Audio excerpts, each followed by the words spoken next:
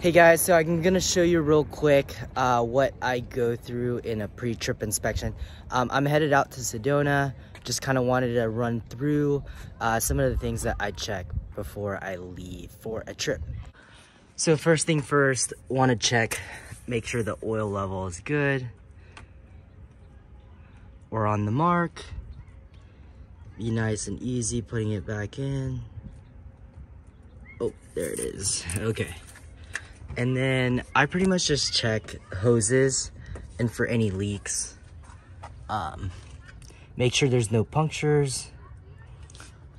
Obviously, like some of you guys don't really know how to or work on cars or maybe even uh, what to look for, but uh, easy thing to do is just kind of check for spots like this, especially with coolant. Um, you can kind of tell it's dripping.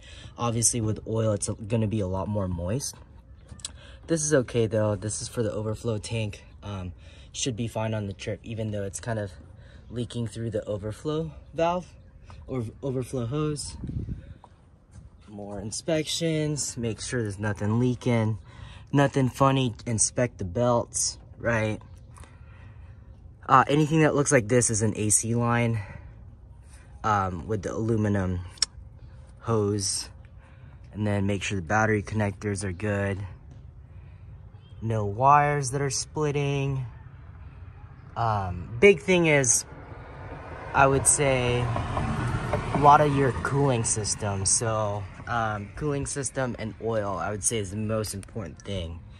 Power steering leak, I guess you kind of get away with it, but um, yeah, it's my quick inspection. Everything looks good. Fluid levels are are good. Fluid level here, the coolant is good between low and high. So once I've inspected uh, the motor, want to check now my suspension and uh, anything rubber, essentially. So your power steering rack has a, a rubber cover. Um, same with your CV axles. Check for lower ball joints, upper ball joints, right? Make sure none of the bolts are stripping. So another good way, especially you're down here, you kind of check for oil leaks, right? So um, when your water pump starts to go out, it'll actually leak at the bottom of it. It has a weep hole. So if you notice like little spots of coolant that's kind of dripping in your uh, skid plate, it's not good.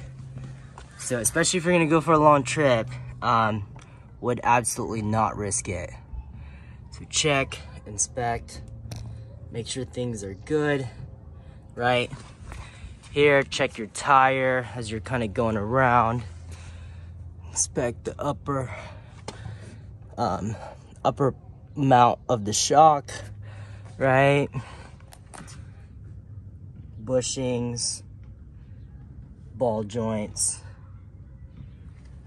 then kind of just go around, right?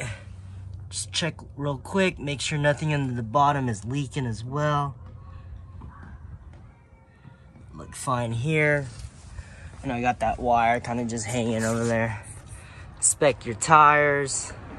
What I like to do too is, um, my Costco is nice. It's got that quick automatic fill up. And I'll fill it up there before I leave for any trip. Make sure I'm running highway PSI tires. Check the rear diff. No leaks. Bushings. Obviously, this is not just for Tacoma. This would be kind of for all your vehicles, right? Check underneath for your mounts. Shock mounts. You can see it on this side, but lower shock mount will be on this side. Make sure it's properly mounted. And then you just don't want these things kind of going bad on the trail, right? Inspect it now rather than fixing it while you're on the trail. Be no bueno. So inspect this tire.